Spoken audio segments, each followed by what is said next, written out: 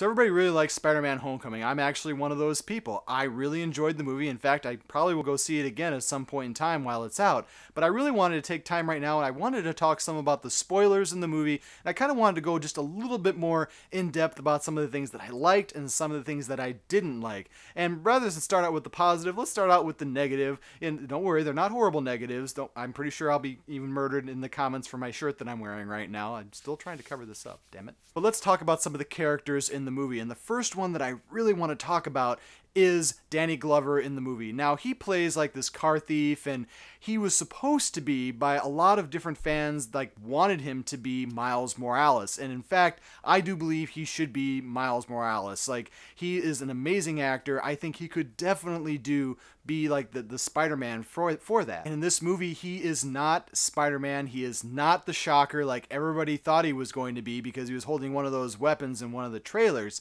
And I liked his character. Like his character is like really down to earth, but I kind of wish he was something more. And it turns out the name of his character is Aaron Davis. And Aaron Davis actually is, because, you know, I obviously know this, he is the uncle of Miles Morales. Now, I looked up to see what character Aaron Davis actually might have been in the universe, and it turns out he's the character called the Prowler which is totally 60s or 70s name if you think about it. And that character actually does have some special abilities because he does steal a suit from Oscorp and has, you know, all these mechanical abilities and everything like that.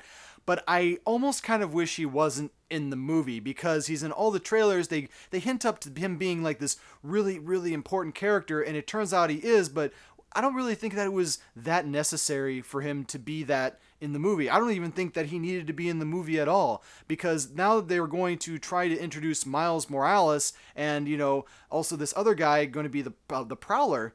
And is that really needed? Is that something that they needed to have in the movie? And the answer is I don't think so there are certain things that you need to put in a movie to set up the future movies. And they really don't mention anything about the Kingpin or Mysterio or even the Dr. Octopus. Like, all those are like some of the major characters, especially the Kingpin, where they could have easily tied that in. And that was one real negative thing. It was like at the ends and credit scene where you see the vulture going into prison and he sees the scorpion in the prison, and they basically are talking about the Sinister Six. And that's the thing that I was wondering why at that point, like you already know the Kingpin from the Daredevil series is in prison. Like you could they could have easily had a shot with the Kingpin and just having him at the bars or something, but they totally missed out on that. And that was one of the things that really disappointed me. But they did they did try to set up the uh, the Sinister Six, which was good, but they could have done a lot more with that. And one of the other things that kind of disappointed me, but not a lot, was Michael Keaton's portrayal of the Vulture. Now, I did say in my review that I really like Michael Keaton. I think that this role had a lot of potential for Michael Keaton, and he put a lot of his heart into it. Like there were times when I was really scared that I really liked it, but the Vulture kind of like uh, the the Green Goblin, just doesn't have a face. Like it, it's it's a it's a terrifying little green eyes. You know, if that's staring at me at night, I'm like, holy shit. But it really just seemed like there was like this really weird ebb and flow that he had throughout the entire movie, where he was bad, but he had a good heart. He loved his family.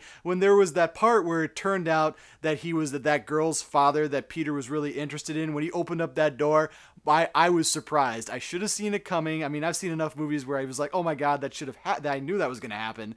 But I was really surprised. And Michael Keaton, because he's a good actor, was able to pull that off.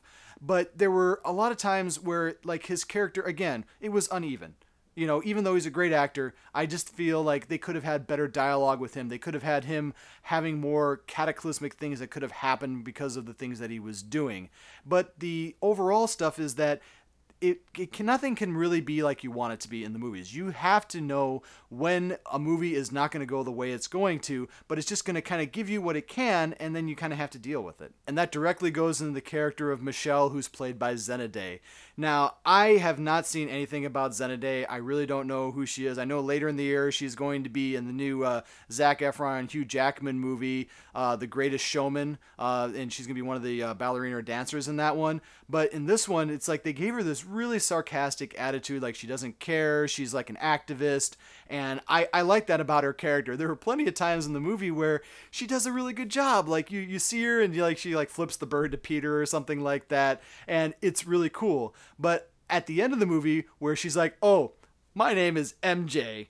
And I, was like, oh my god, it's, it's sort of like uh, in Batman v Superman where they where they changed uh, Jimmy to Jenny, and it was like it was it was a it was a, a, a male female switch, but I, I don't like it when they do that because they did that specifically because they wanted to draw more people in for the audience. And in this one, you're changing an ethnicity of a character, and there's I have no problem with that whatsoever. I think that's a really good thing. I think that there should be a black Batman. I think that there should be a black Superman. I think that there, all the different characters from this point on should be different ethnicities because they are that in the comic books sometimes. But when you change the actual dynamic of a character, where you don't recognize who the character is and then the character is like oh yeah by the way i'm this character it kind of threw me off. Like i didn't expect like mj in all the other series she is in love with peter parker. She is she wants to be with him but he can't be with her and that is one of the things that kind of draws us to spider-man because he can't love anybody. And to change her character like that I don't know if it's going to fit throughout the entire rest of the movie because then they're going to have to make her either fall in love with him or he's fawning after her. And in this one now, he's going for the other character. And I don't know how they're going to do that. I hope they don't even introduce Gwen Stacy because even if they have Gwen Stacy in there, then there's going to be just too much fighting over Peter. And I don't think that they're going to lose track basically of what it means to have the Spider Man movie focused on Peter and the people he wants to save. As for the positives for this movie, there are just a ton of things that I really liked. I liked the overall tone of the movie. I liked how Peter Parker was Peter Parker and then he was also Spider-Man. There, and that sounds kind of weird, but it's again, like I said in my in my other review, uh, my non-spoiler review, it's hard to mold a character together like Peter Parker and Spider-Man because you have the really smart Peter Parker dealing with high school and stuff and then you have Spider-Man who's more or less invincible and doesn't have to worry about physically getting hurt a lot. And there's so many things that the movie does right with that. Now, there's also, I'm going to put in one other negative here because I'm also wondering how hard do you have to hit Spider Man to make him bleed? Like, there's the one point where, you know, Spider Man in the other movies got hit with like a bomb in the face and it blew off half his mask and got him all bloody. But in this one, like, I didn't understand when, like, you know, uh, the vulture cut down the entire arena around Spider Man and all the concrete knocked on him. Like, how did that not crush him? Like, I realize he's, like, you know, has the strength of a spider and can lift up to, you know, like 20 or 200 times his weight. But there is a point in the movie where, like especially at that ending where I was like I think they went a little overkill on you know trying to prove that Spider-Man was almost like godlike but again that's again that's that's a negative but it was also a positive because at that scene I actually really did feel like Spider-Man was was crushed. Like he wasn't he was hurt but he was also crushed emotionally because in that scene it was like I I got a little emotional with it because I was like he really you really saw Tom Holland get get down on himself. Like he really wondered if he could keep going. You know could he be Spider-Man? Could he still be Peter Parker? And you know of course he lifts everything up and he goes and saves the day but it's really like that movie ticket price mo- moment that I usually say in some of my reviews is that this that moment where you realize a character is the character that they are truly that character and that was the best scene for me in the entire movie. One of the other coolest things was the end of the movie where spider-man sees his new suit. I thought that was the best suit i had ever seen for Spider-Man. You know, like you have the futuristic Spider-Man suits, but that suit I thought I really thought it was going to be the Iron Spider where it has like that stuff that comes out from the back of it and I I wouldn't doubt that it maybe it could be, but it looks like they molded a lot of like the the futuristic like tw- uh, Spider-Man 2099 or something like I can't remember exactly what it is, but they like took that idea and then they molded it with the uh, uh with the Iron Man suit and it, it looked amazing. And at the end, I thought it was really good too that they had him not join the Avengers. Like he goes throughout the entire process. And then to have him say no, and also that point where I guess Tony Stark married Pepper Potts, which I thought was hilarious. he's like, I mean, even when Happy pulled out the ring, he's like, I've been carrying this for since 2008. yeah, here, fine. You know, like that was cool because you like you you you see how how funny Marvel can actually be and how they can connect themselves throughout the all the movies. And that's the most important thing about Spider-Man, which is most important thing about, you know, Marvel is like all their movies are they're all interconnected. There are a lot of things that I think Marvel is still doing wrong. In fact, even in Spider-Man, in this Spider-Man version, they didn't kill anybody. Like again, like I, I want them. I need somebody to die. Like in the Spectacular Spider Man 2, you had one of the main characters die. You had Spider Man kill that character, and that was important.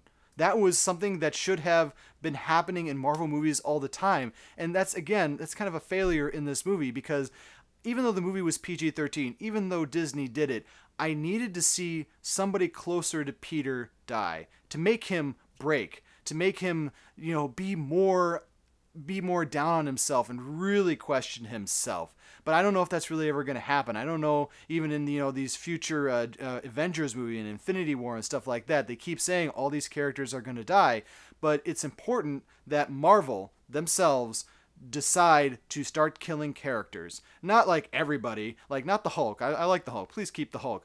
But in general, I think that they there needs to be more emotional weight put on Spider-Man. There needs to be things around him that fall apart. And in this movie, they do keep it very PG-13, but again, Marvel really needs to take that chance. So I hope you guys really enjoyed my spoiler review of this. Maybe it was kind of more of like a rant. I've never really done a spoilery type of review before. But let me a little whacked out comment below and let me know what were some of the best things that you saw in the movie and what were some of the things that you didn't like in the movie. Let me know in those comments. And yeah, never forget, if you guys don't like what you're watching, you can always turn it off. But thanks for coming back and seeing me.